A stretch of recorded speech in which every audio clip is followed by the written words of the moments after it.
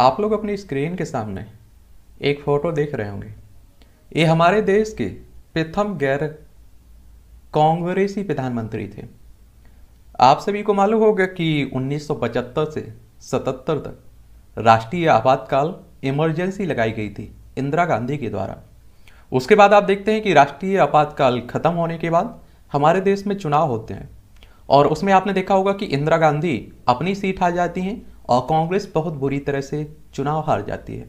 उसके बाद ये मुरारजी देसाई प्रधानमंत्री बनाए जाते हैं। लेकिन इनका भी समय ज़्यादा समय तक नहीं चल पाती इनकी सरकार, क्योंकि आप देखिए गठबंधन करके कई पार्टियों ने सरकार बनाई हुई थी। तो उन्नीस में इनकी सरकार गिर जाती है और इन्हें इस्तीफा देना पड़ता है। तो आज हम लोग मोरारजी देसाई के बारे में एक सामान्य जानकारी आप लोगों को दे देता हूँ। और याद रखिए, सभी कांग्रेस से निकले हुए थे। किससे निकले हुए थे? कांग्रेस से निकले हुए थे। आप देखिए, इंदिरा गांधी से के साथ भी इन्होंने काम किया हुआ था।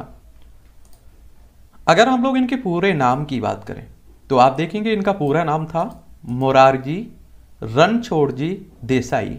इनके उपनाम मोरारजी देसाई के नाम से प्रसिद्धि प्राप्त किए हुए थे। और इनकी जन्मतिथि की बात करें तो 29 फरवरी अठारह सौ छियानवे को इनका जन्म हुआ था। यानी कि यानी कि आप समझिए कि इनका जन्म चार साल में, जन्मदिन चार साल में एक बार मनाया जाता होगा।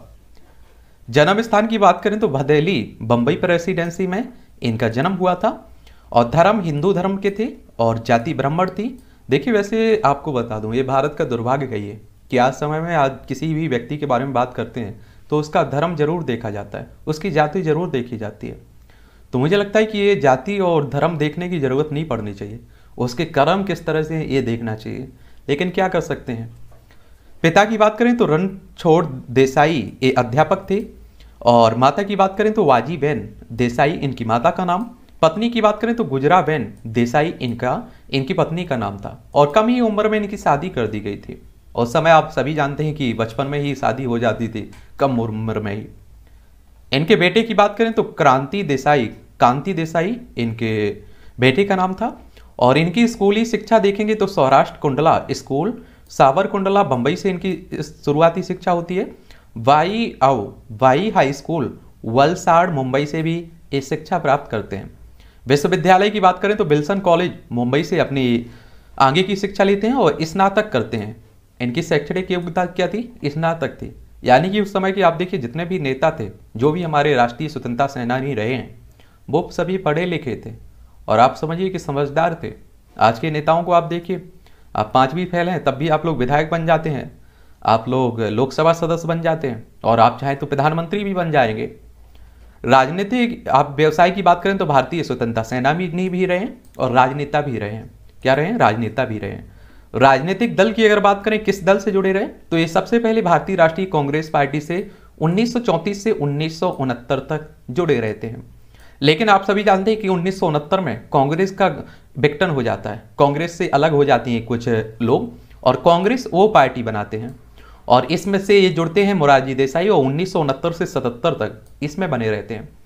और फिर 1977 से उन्नीस सौ अट्ठासी तक जनता पार्टी में रहते हैं। फिर आप देखेंगे 1988 से उन्नीस सौ पंचानवे तक ये जनता दल में शामिल हो जाते हैं। तो ये इस तरह की इनकी पार्टियों से, जिस पार्टियों से इनका संबंध रहा है, उनके नाम हो गए। आप सभी को मालूम है कि इन्हें उन्नीस सौ इक्यानबे में भारत सरकार द्वारा भारत रत्न पुरस्कार से भी सम्मानित किया गया था और 19 मई 1990 को उन्हें पाकिस्तान सरकार द्वारा भारत के प्रधानमंत्री के रूप में निशान ए पाकिस्तान पुरस्कार से भी सम्मानित किया गया था। आपका जो पड़ोसी है ना पाकिस्तान, इसी की बात करें। देखिए, इसकी बात करें, इसने भी इन्हें पुरस्कार दिया हुआ था। और आपको बता दूँ, जब ये ग्रेजुएशन करते हैं, स्नातक करते हैं, उसके बाद देसाई जी सिविल सिविल परीक्षा उत्कीर्ण कर लेते हैं आईसीएस की। और 1918 में आप देखेंगे सिविल सर्विस शुरू कर देते हैं और 12 वर्षों तक ये डिप्टी कलेक्टर के पद पर रहते हैं। और उसके बाद आप देखेंगे मुरारजी ने 1930 में ब्रिटिश सरकार की नौकरी छोड़ दी और स्वतंत्रता संग्राम के सिपाही बन जाते हैं। और फिर आप देखेंगे कि 1931 में ये अखिल भारतीय कांग्रेस समिति के सदस्य बनते हैं। उन्नीस में आप देखते हैं कि गुजरात प्रदेश कांग्रेस कमेटी के सचिव बनते हैं। उन्नीस में वो कांग्रेस सरकार के अंतर्गत राजस्व, कृषि, वन एवं सहकारिता मंत्रालय के मंत्री बनाए जाते हैं। 1946 में राज्य विधानसभा के चुनाव के बाद वह मुंबई में गृह एवं राज्य मंत्री बनते हैं। कब? 1946 में। ये आप देखेंगे, अंग्रेज़ों के समय की बात हो रही है। इस समय तक आप देखते हैं कि अंग्रेज़ों के अधीन थे हम लोग। हमारे ऊपर अंग्रेज़ों का शासन था। लेकिन आप सभी जानते होंगे कि उन्नीस में हमें आज़ादी मिल जाती है। उसके बाद आप देखेंगे उन्नीस में वह मुंबई के मुख्यमंत्री बनते हैं और 14 नवंबर उन्नीस को वह वाणिज्य और उद्योग मंत्री के रूप में केंद्रीय मंत्रिमंडल में शामिल हो जाते हैं। 22 मार्च उन्नीस को उन्हें, उन्होंने वित्त मंत्रालय का कार्यभार संभाला, वित्त मंत्री बनते हैं। उन्नीस सौ सड़सठ में वह इंदिरा गांधी के मंत्रिमंडल में उप प्रधानमंत्री और वित्त मंत्रालय के प्रभावी प्रभारी मंत्री के रूप में शामिल होते हैं।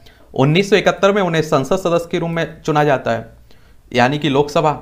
आप देखिए आप सभी जानते हैं लोकसभा सदस्यों का जो चुनाव होता है ना ये आपके जो 18 साल की उम, आपकी उम्र हो चुकी होगी तो आपका मतदाता सूची में नाम जुड़ चुका होगा और आप लोग वोट डालने जाते होंगे।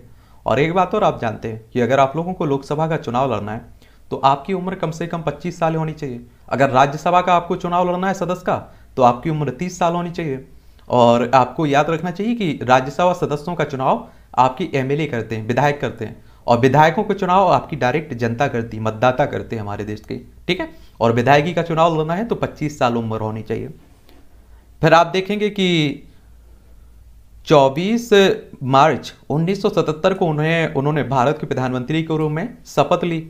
और उन्नीस में चरण सिंह ने जनता जनता जो पार्टी थी गठबंधन के लिए अपना समर्थन वापस ले लिया और मुरारजी देसाई ने पद से इस्तीफा दे दिया, क्योंकि उनके पास बहुमत नहीं बचा हुआ था।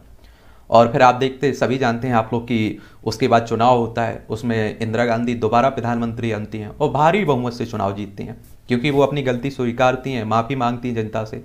और आपके देश की जनता, हमारे देश की जनता बहुत सीधी सादी है, वो किसी को भी माफ़ कर देती है।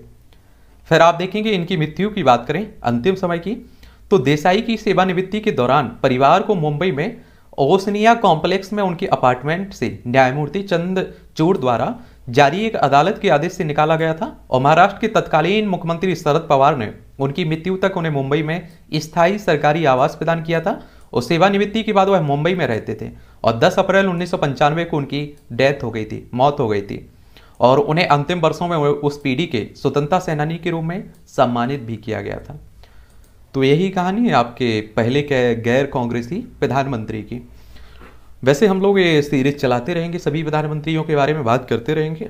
अगर और आप लोगों की दिलचस्पी है किसी के बारे में जानने की तो आप लोग उसका नाम बताइएगा, उन पर भी हम लोग बात करते रहेंगे, ठीक है?